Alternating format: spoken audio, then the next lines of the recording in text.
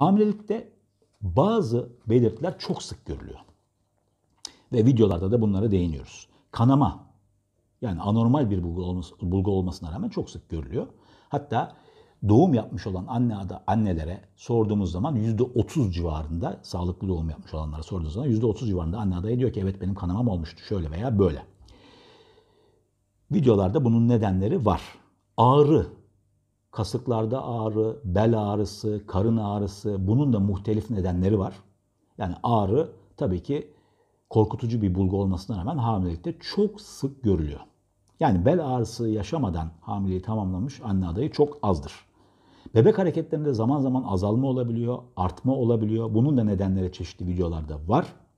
Çarpıntı, halsizlik, bunun da nefes darlığı bunlar da çok sık görülen normalde bir anormalliğe işaret etmesi gerekirken nefes darlığı işte hamile olunmayan dönemde halsizlik işte ne bileyim yani çok ciddi bir bulguymuş gibi durmasına rağmen hamile olunmayan dönemde hamile olunan dönemde kanama, ağrı, ondan sonra bahsettiğim gibi çarpıntı, halsizlik, bel ağrısı, nefes darlığı bunlar çok sık görülen şeyler. Doktor muayenesinin yerini hiçbir şey tutamaz.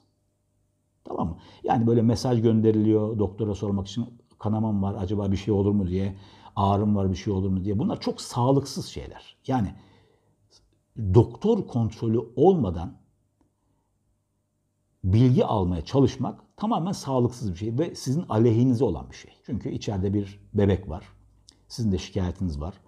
O şikayetin nedenini anlamak için mutlaka bir muayene olmanız lazım. Doktor kontrolünden geçmeniz lazım. Yani böyle e, videolara bakarak doktorlara soru sorup e, onların yanıtlarına göre hareket etmek doğru değil.